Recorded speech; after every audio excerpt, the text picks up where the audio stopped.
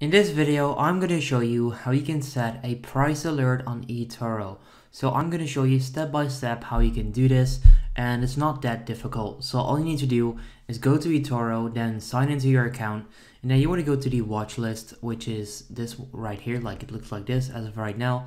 So once you're here, you can click on the settings icon in the top right corner and then you'll find the watch list and then also find actions so on actions, you should be able to find set price alert, click on it, and there you go. You can now select a stock. So let's say that you want to set a price alert for the Tesla stock, for example.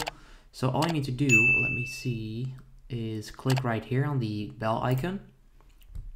You can then set a rate. So basically what this means is that if Tesla stock drops all the way to, let's say 422, you then click on create alert and that's that. So that's pretty much how you can do this.